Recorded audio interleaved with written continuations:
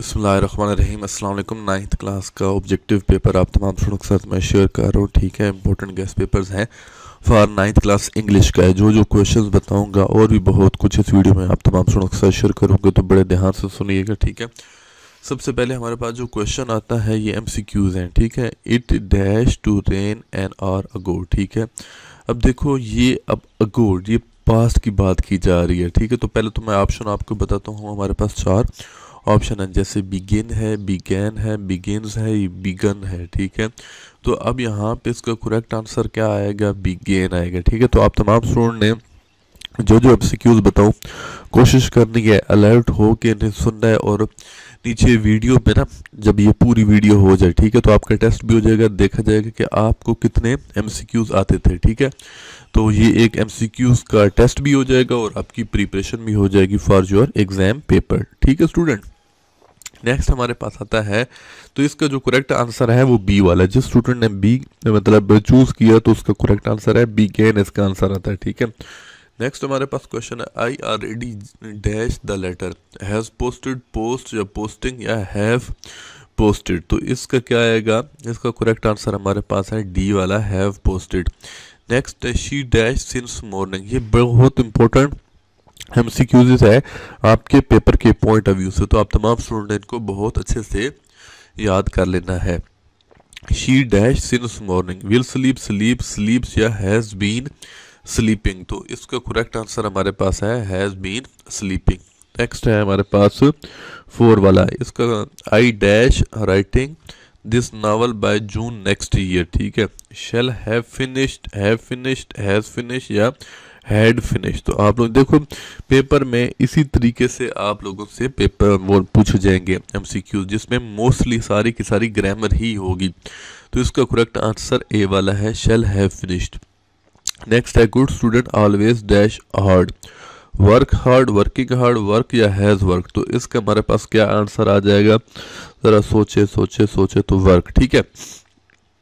अब बहुत ज़्यादा ऐसे स्टूडेंट्स हैं जिनको एम मतलब सही से नंबर नहीं ले सकते तो उनके लिए मैंने इस लर्नोजी चैनल पे आप लोग आएँगे, ठीक है?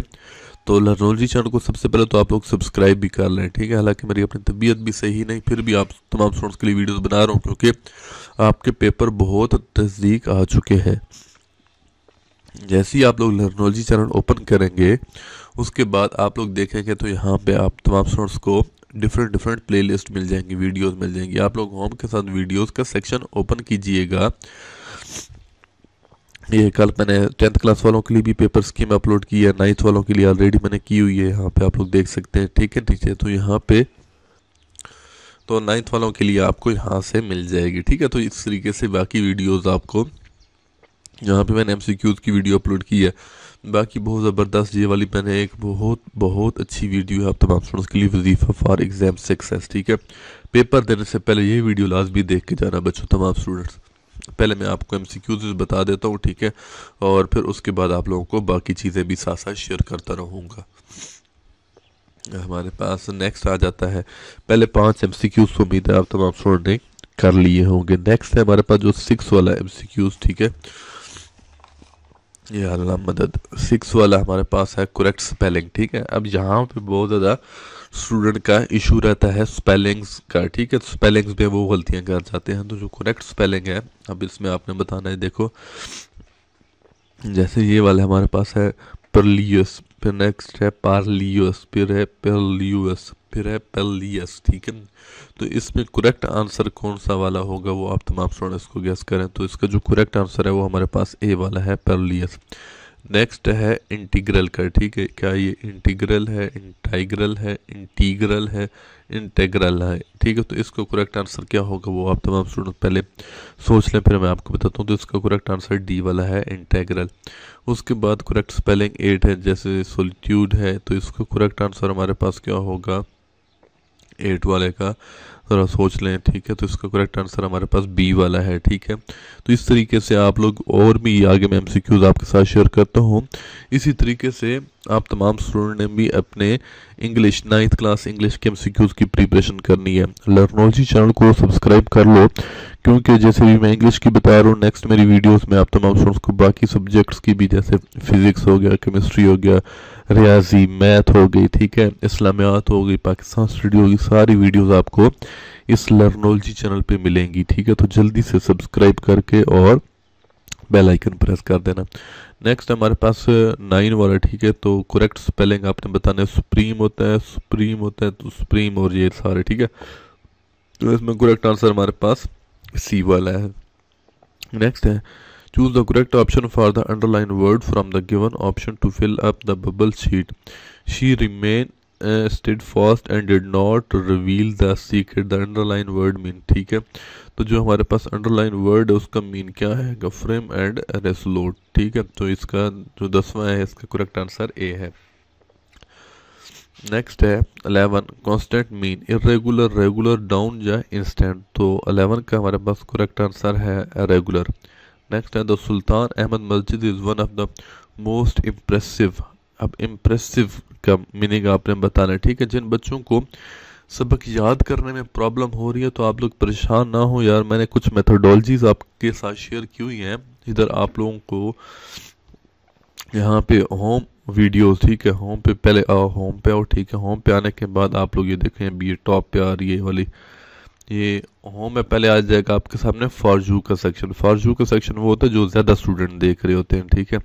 उसके नीचे वीडियोस का सेक्शन आ जाएगा, ठीक है वीडियोस में ये वाली हैं। उसके नीचे board exam 2024 tips for students इस वाली प्लेलिस्ट में आप लोग आएँगे तो आपको यहाँ पे ये वाली video how to study more in less time ठीक है एमसीक्यू सॉल्विंग टिप्स यहाँ पे मैंने बताई हुई हैं।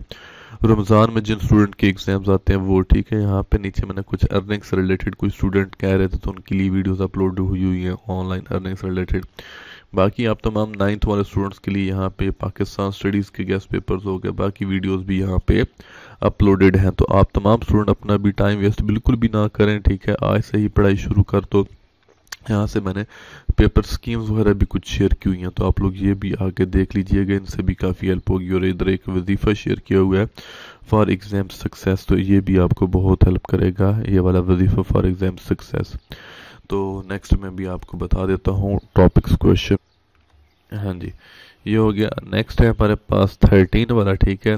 जैसे bestowed with means bestowed means का क्या होता है deprived of eager to to confer as a gift या जोन तो थर्टीन का हमारे पास करेक्ट आंसर है to confer as a gift तेरह वाला, ठीक है? इसका सी करेक्ट आंसर है। नेक्स्ट हमारे पास फोर्टीन आता है स्टर्लिंग मीन्स ठीक है? कि किधर गया किधर गया? हाँ sterling means moderate ordinary common या ऑफ़ द हाईएस्ट क्वालिटी तो इसका करेक्ट आंसर आप लोग ज़रा सोचें, फिर मैं आपको बताता हूँ। इसका स्टर्लिंग मीन्स का मतलब है ऑफ़ द हाईएस्ट क्वालिटी ठीक है? उसके बाद है who is dash for this chaos responding अब देखो choose the correct option according to grammar and fill up the bubble sheet तो इसका करेक्ट आंसर आपने बताना है, ठीक? हु इज़ रिस्पॉन्सिबल आता है? रिस्पॉन्डिंग नहीं आता रिस्पॉन्सिव भी नहीं आता। इसका करेक्ट आंसर क्या है? हमारे पास responsible wait dash I return because when till if ठीक है?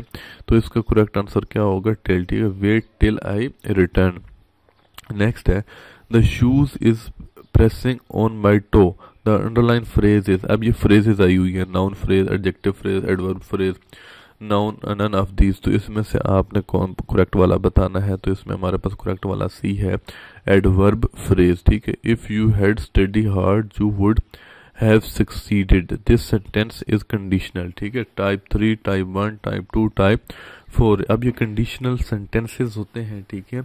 ये इंशाल्लाह मैं बहुत जल्द वीडियो इसी पे बनाऊँगा, ठीक है? जिसमें मैं टेंसेस के बारे में बताऊँगा कौन कौन से कंडीशनल टेंसेस होते हैं, सब कुछ आप तमाम स्टूडेंट्स के लिए लेके आऊँगा बहुत जल्द। तभी कह रहा था कि सब्सक्राइब कर लेना। तो इसमें टाइप थ्री वाला कंडीशनल ठीक है? उसके बाद हमारे पास नाइनटीन है। You will hurt yourself the underline word is ठीक है? तो अंडरलाइन वर्ड का मतलब क्या होता है? रिफ्लेक्सिव प्रोनाउन अपने नाउन प्रोनाउन इन चीज़ों को बहुत अच्छे से प्रिपेयर कर लेना ताकि आप तमाम स्टूडेंट का पेपर बहुत अच्छा हो जाए और फर्दर आप लोग लर्नोलजी चैनल पे आके जो मैं आप लोग ज़रूर आके सब्सक्राइब करो। होम के साथ वीडियोस पे आना, ठीक है? होम पे भी आ सकते हो, लेकिन वीडियोस पे आके जो जो भी यहाँ पे शेयर कर रहा हूँ, ठीक है? ये जैसे वजीफ़ा हो गया अटैम्प्ट करने के मेथड्स हो गए, इन वीडियोस को आप लोग स्क्रॉल डाउन करते आना, देखते आना, बहुत हेल्प मिलेगी आपको। छोटे छोटे से पॉइंट्स हैं, लेकिन बहुत हेल्पफुल पॉइंट्स हैं, ठीक है? अल्लाह पाक आपको कामयाब करे। Best wishes for your board exam thank you so much अल्लाह हाफिज़।